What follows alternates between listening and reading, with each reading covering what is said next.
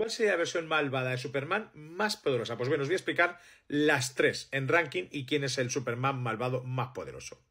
Como ya sabéis, al igual que con otros superhéroes, existen múltiples versiones de nuestros superhéroes, también como de villanos, ¿vale? Y evidentemente, pues de Superman hay versiones malvadas. Tenéis este, que es un Superman del multiverso oscuro. Tenéis al Injustice Superman, que se volvió malvado después de que el Joker lo engañara e hiciera que matara a Lois Lane y además arrasó con toda Metrópolis. Brutal, que es un clon de Superman que hizo Darkseid.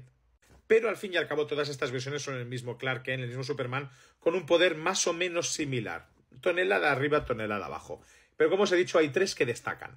En tercer lugar tenemos a Ultraman, que es el Superman malvado de Tierra 3. Este Ultraman tiene la fuerza del resto, lo que pasa que depende, ojo, es, es lo inverso a Superman, depende de la kriptonita, o sea, la kriptonita es lo que le da poder. ¿Cuál es el tema? Es que dices, bueno, es que cuanta más kriptonita consuma, más poderoso se puede volver.